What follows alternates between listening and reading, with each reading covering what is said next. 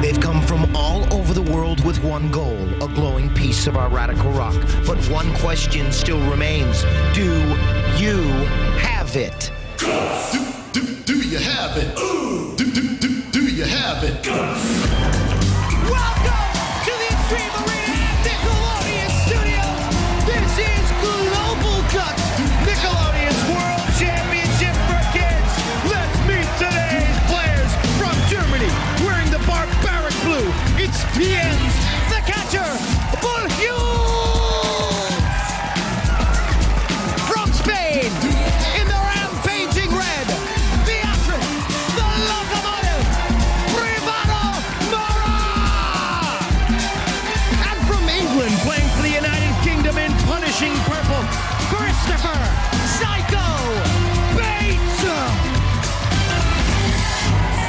From all over the world to the Extreme Arena for a shot at the world title. Hello, everyone. I'm Mike O'Malley. This is Global Guts, and I'm here today with an international team of presenters bringing the action to you and over 250 million people all over the world.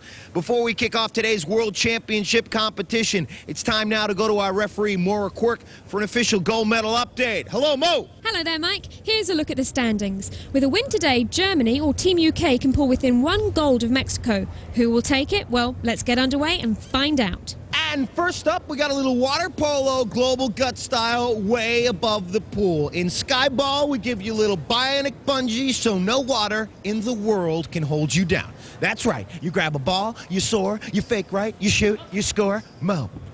At the sound of my whistle, players will grab a ball and throw it into the goal across from them. The player with the most goals at the end of 60 seconds wins. On your mark, get set.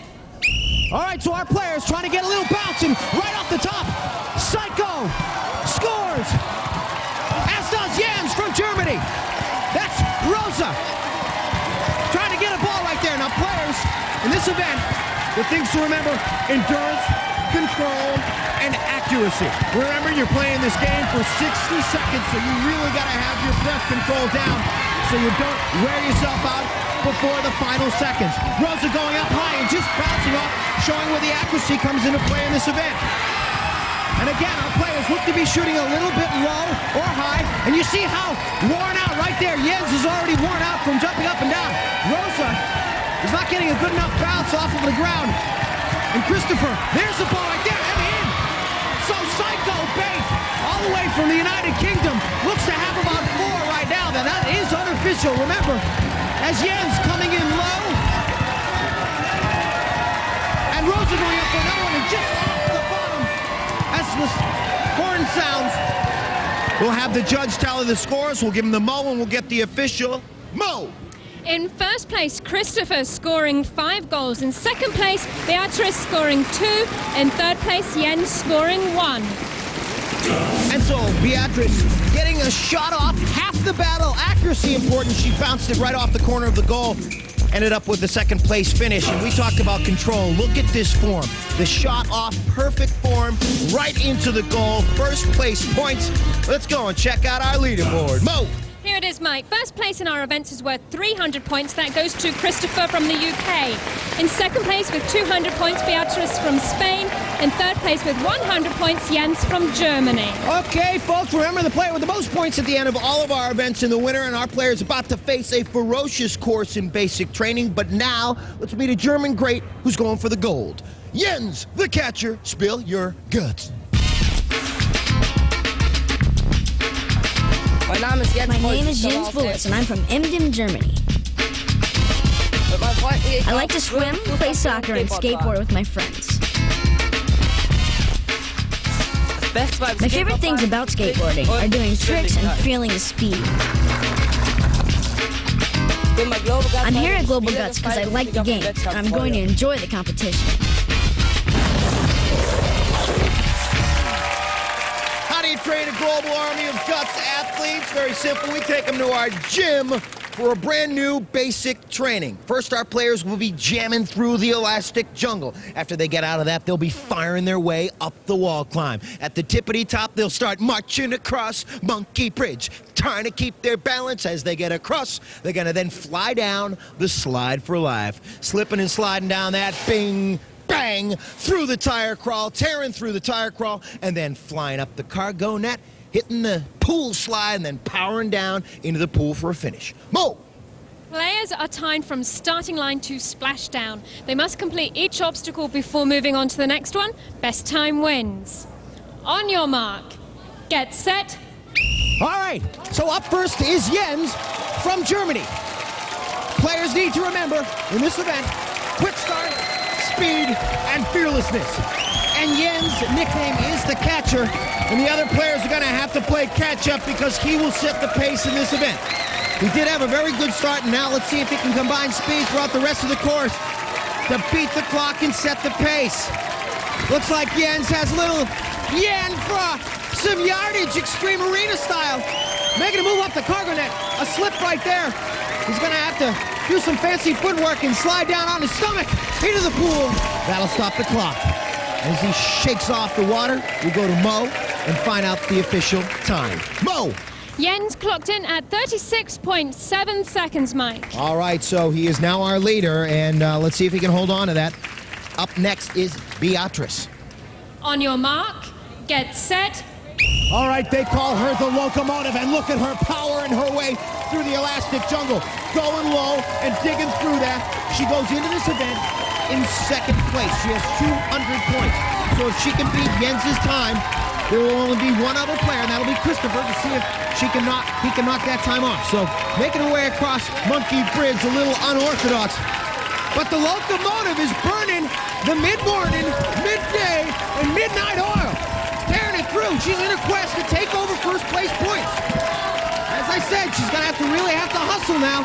Slowing down. Her endurance wavering at that portion on the cargo net. And that looks to be killing her on this time right there. She had a chance to take it, but really slow down on the cargo net. That's going to hurt her. Let's go to Mo. Beatrice clocked in at 39.6 seconds, Mike. Okay, so she is now in second place. See her sticking her tongue out trying to get some fresh air. All right, Christopher's next. On your mark, get set. Okay, so Christopher, all the way from the UK to the EA Extreme Arena. He's in first place with 300 points. They call this guy Psycho. Psycho is taking a serious stab at first place here. He's he's tearing up this field, man. Look at this guy. Through the tire prop, he's gonna blow away all the other players' times by at least five or six seconds if he can keep it up. Down the pool, looks like first place.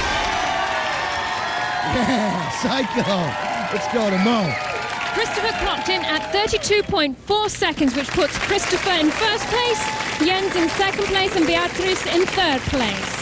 Folks, in all my years of guts, I gotta say the cargo net is one of the biggest challenges. A moving net ready to tangle your feet, and right there, losing precious seconds. Coming back with the win, though, is Christopher Psycho. First place points, getting a little wet. Let's go to Mo for the leaderboard now. Mo. Well, Christopher from the UK is still in first place with 600 points and tied in second place with 300 points each. Beatrice from Spain and Jens from Germany. Well, folks, two down, two to go, and surf is up. When we come back, a little hang ten and a little scrumble. Global Guts Rugby. Stick around.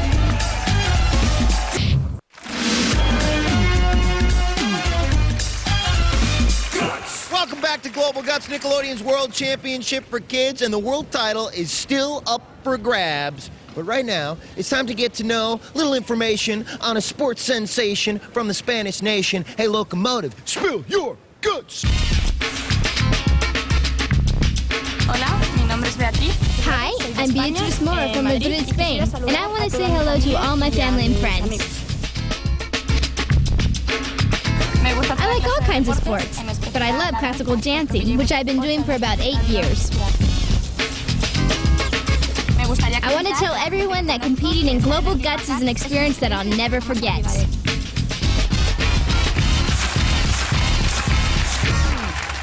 Imagine racing across the English Channel on a surfboard. Well, folks, in Hang 10, we're going to bombard our athletes with some big time waves and some serious surging surf. Which one of these players going to shred the most wicked waves? We're about to find out, but first, Mo. Mo! At the sound of my whistle, players will have 30 seconds to collect as many buoys as possible. The player who collects the most wins. On your mark, get set. All right, up first is Jens. And this man is attacking that water. You see him holding on to his board, but he's not kicking his feet. He's going to have to make use of those legs. That's what he's got him for, to kick that water so we can get towards more buoys. In this event, the smart moves, coordination, fearlessness, and peripheral vision. But he has a decent amount on his right arm, but that might be weighing him down. He's going for those other two in the corner. You see, as time is running out, he makes the stretch. Will he get him? About the horn! Oh, so we'll go to Mo and get the official score for Jens. He was holding on to that board very well. Let's go to Mo. Jens collected seven buoys. Up next, Beatrice from Spain, and she's on the board. We'll see what she can do in this event. On your mark, get set. All right, and so Beatrice grabs the first one on her right hand, and she's got a second one. She's making use of a leg kick right there.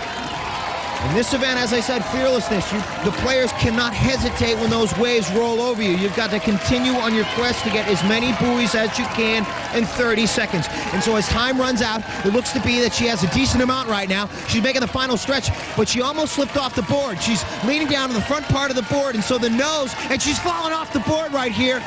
As time runs out, she continues to hold on to those buoys, but you saw the nose of the board was dipping down into the water, and she finally capsized.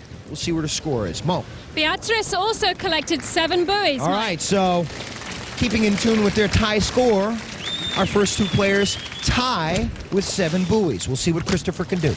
On your mark, get set.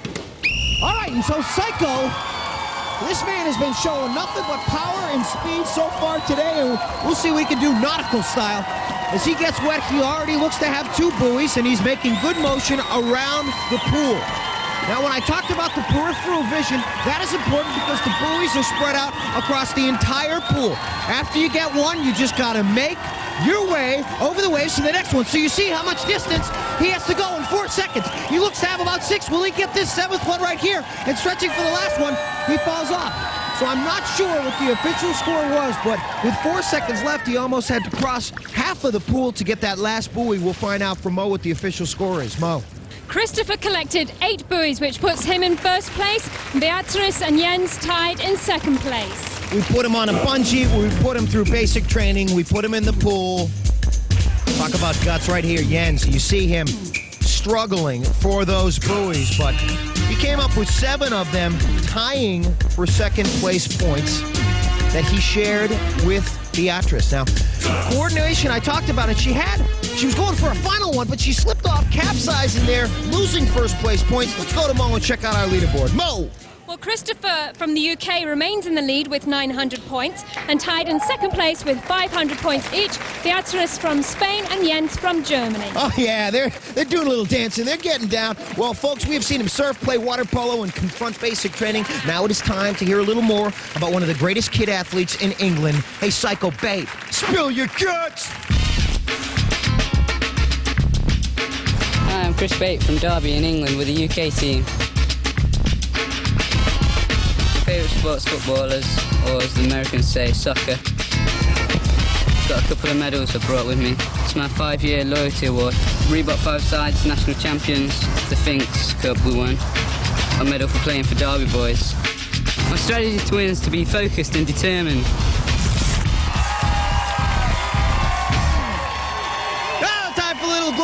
Guts rugby. We're calling it scrumble, folks. And ladies and gentlemen, you are pushing and pulling. You're mauling. You're crawling. Let's go to Mo. Hopefully you're scoring. Mo. Mike, at the sound of my whistle, players will have 60 seconds to grab as many loose rugby balls as possible. The player who collects the most wins. On your mark, get set. Perfect game on the line for Christopher from the UK. They have 60 seconds to cover as much territory as they can, and there's Chris scoring one. Now, our players in this event, quick decision, efficiency, power. Now, you've got to have the power to push and pull your way to every loose ball because remember, your motion is affecting the other players' movements. As you move one way, the other players move the other way. And right there, that's Beatrice scoring two.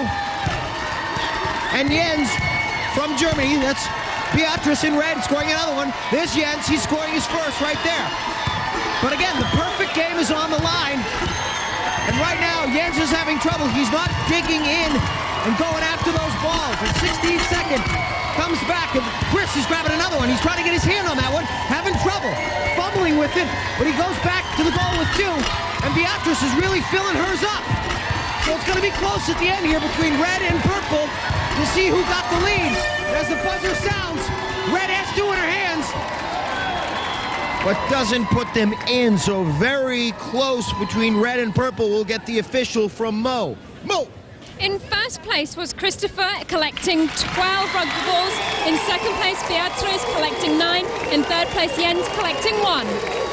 You got to be quick on your feet and you got to know how to pivot. And look at this Spanish twist right here. Beatrice going in there. Boom. That's, I want second place points for her. The grit and determination of a perfect score champion, though, is right here. You watch Christopher, psycho, getting up there, knocking it in. Great work. This man, first place, four events. We talked to him yesterday during practice. Here's what he had to say. They call you Psycho. Great nickname. How'd you come up with it? My friends at school call me it because I don't t- chicken out of the tackles with the big guys. Yeah, you good? You just run down the field and knock these boys down? Yeah. And uh, what happens when they uh, run after you? Well, I just stand there and dodge out of the way of them. Oh, yeah, this is looking nice. Let's check out the leaderboard, Mo. Still in the lead with 1,200 points. In second place is Beatrice from Spain with 700 points. And third place, Jens from Germany with 600 points. All right, folks, forget Scrumble. The Crag's ready to rock, roll, and rumble. That mountain right there. Who's going to put the flag at the top? We'll find out. Stick around.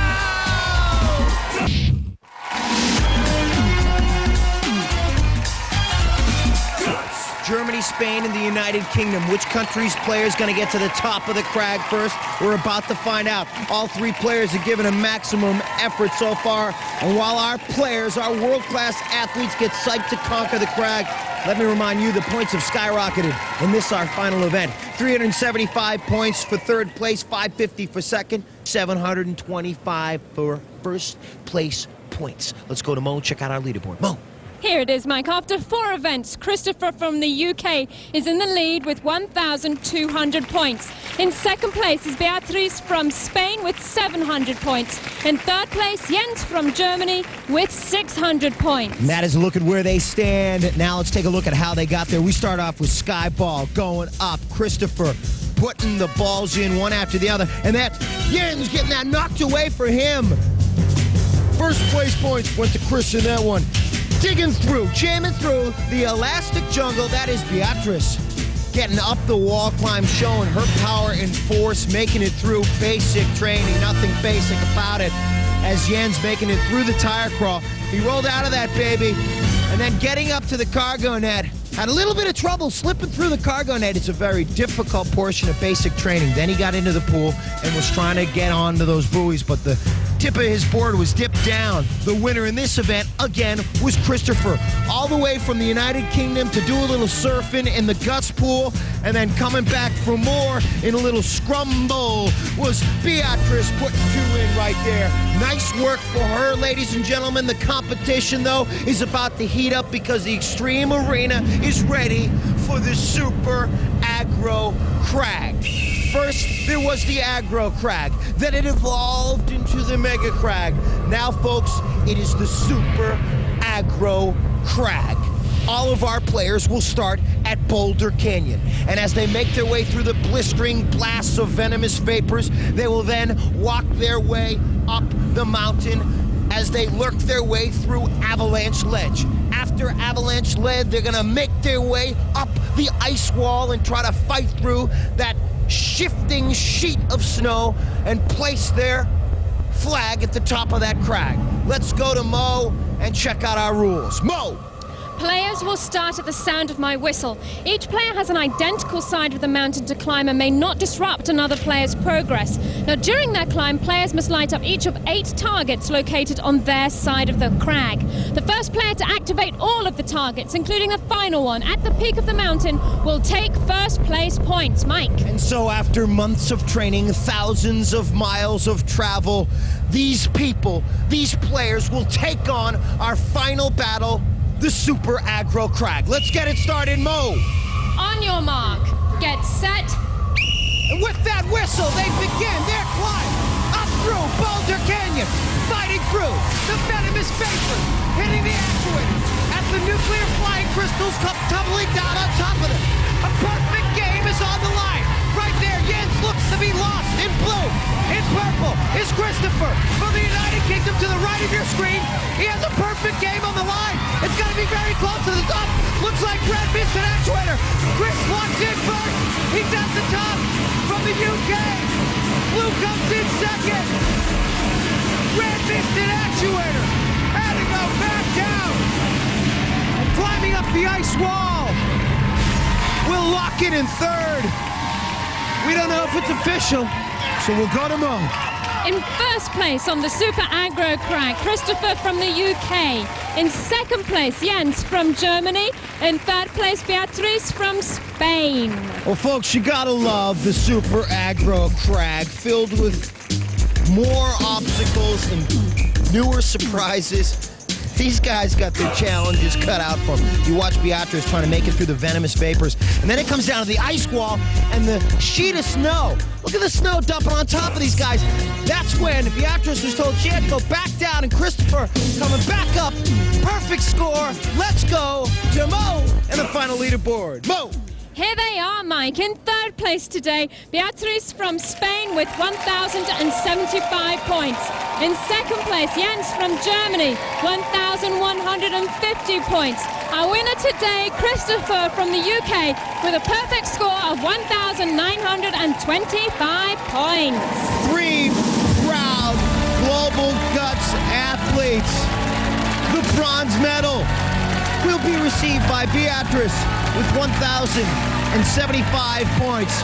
She came all the way from Spain to compete here on Guts. And she did a terrific job climbing the crag. From Germany is Jens. He'll get the silver. We'll get to show that back home to the folks, and you're hearing the national anthem of the United Kingdom for our perfect score winner, Christopher Psycho Bates, all the way from the UK to the EA Extreme Arena. Hold up that glowing piece of our radical rock. Show the flag and show the folks the Extreme Arena. You came here to play, you came here to win. And ladies and gentlemen, now it's time for a little victory lap for our victorious players. Global Guts athletes are chosen from a unique group, a stellar group of athletes, a specific group of athletes, all around their own country. They're one of the 12 best in this Global Guts competition from their country to come here and play, take on the Super Aggro Crag. No ifs, ands, or buts. These kids got guts. Do you have it? Reebok gear available at Kids Foot Locker, where you'll find the best selection of athletic footwear and apparel for kids.